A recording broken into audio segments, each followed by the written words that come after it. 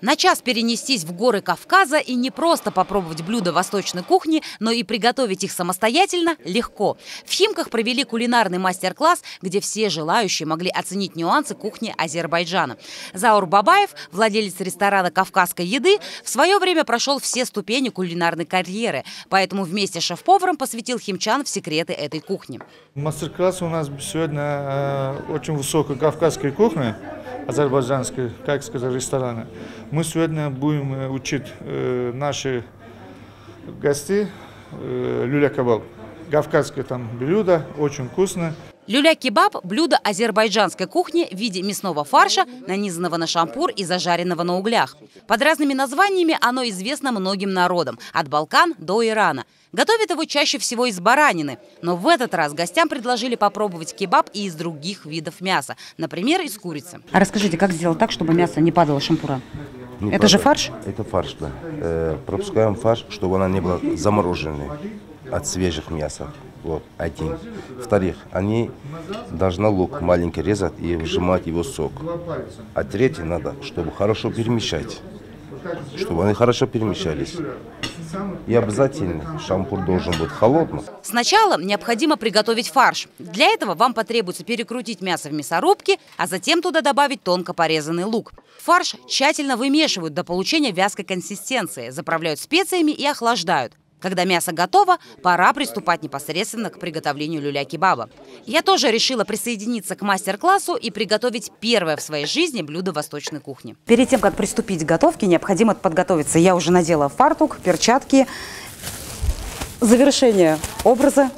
Пойдемте готовить. Помогал нам готовить люля-кебаб сам владелец ресторана. Уже готовый фарш необходимо размять в руках, не забывая постоянно смачивать их водой. Одевайте его на шампура, Ага. на середине, да.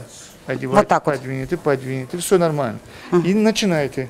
Раз, курите шампур, шампур курите в руках. Вот так А. начинаете, курите только аккуратно. Даже Ага. Медленнее. медленно. Ага. Все.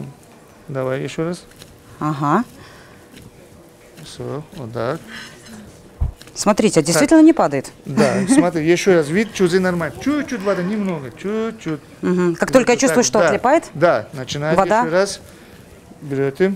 Все, видите, он все готово. Дальше придаем мясу форму, чтобы фарш разместился на шампуре равномерно. люля-кебаб у нас уже готов. Теперь осталось его отправить в печь.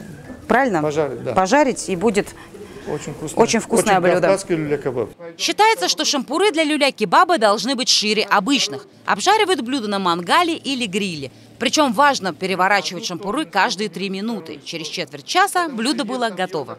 Мастер-класс, конечно же, завершается дегустацией. Давайте попробуем, что мы только что приготовили.